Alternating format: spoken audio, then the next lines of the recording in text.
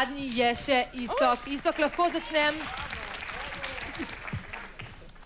Gremo, Istok? Ja, Pa začnimo.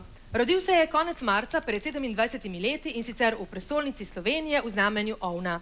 Zgodnja leta svojega življenja je z družino preživljal v eni sami sobi, ki je bila hkrati spalnica, kuhinja in slikarski atelje, obenem pa del lepega gradu.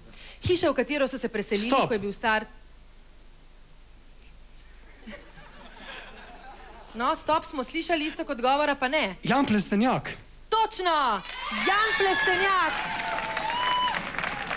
In preostalih 45 sekund se spremeni v 45 točk za istoka. Poglejmo seštevek točk po tej